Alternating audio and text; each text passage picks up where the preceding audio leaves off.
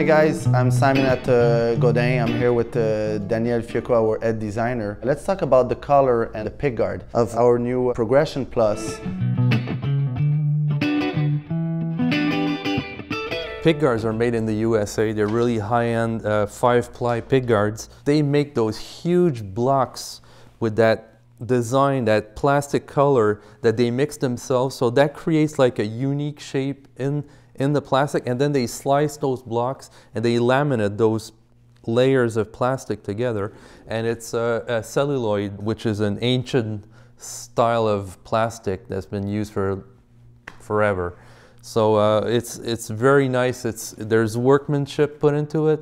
It's not a printed pickguard. You know those cheap guitars very often they'll have printed pickguards. This is the real stuff, made in the USA, top quality.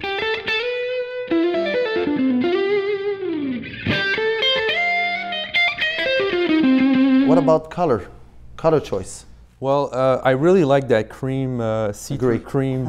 Uh, it's my favorite color because uh, you have that wood grain into it and you have that solid color. Cream is really nice. It, it matches the pickguard very well. I think the instrument look outstanding.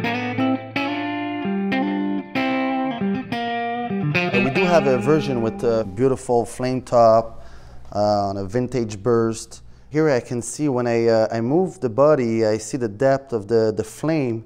And uh, what's the reason of that? Well, that's how you know that this is a real flame top. Uh, some other companies did those paint tricks that uh, simulated flame. This is the real stuff. We select really nice flame tops for our, our Progression Plus. And uh, it's, it's the grain of the wood that goes up and down and the light will catch different angles of wood grain and that will give you the effect and the light moving. Uh, it's, it's really beautiful. And if you look at the burst, uh, the, it's, it's really, really well spread. Oh, uh, the colors are really warm looking. It's like a three color uh, burst. There's great depth to it. So the colors, the wood grain, everything mixes well together. And when you say it's a real flame maple top, that means that uh, every guitar is unique? Absolutely. Uh, they'll all be different. They're all beautiful, but they'll, they'll all be very different. And it'll give you a very, very unique guitar. You, you own this guitar, this is yours, you're used to seeing it. There's no other guitar that looks like it.